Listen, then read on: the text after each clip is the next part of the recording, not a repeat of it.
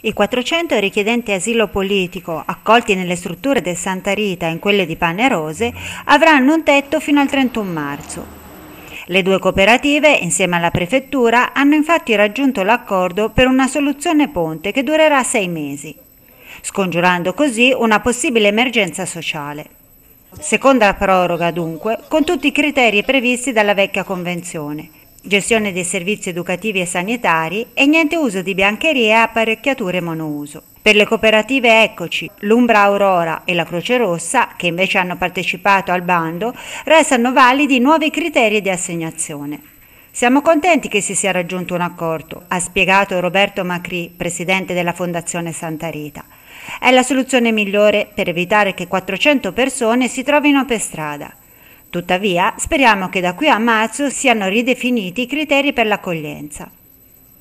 Alla base della rinuncia delle due importanti cooperative di partecipare al nuovo bando, il disaccordo su un'idea di accoglienza che escluda tutta la parte educativa, ma anche i nuovi criteri sanitari nell'ottica di controllare meglio le spese.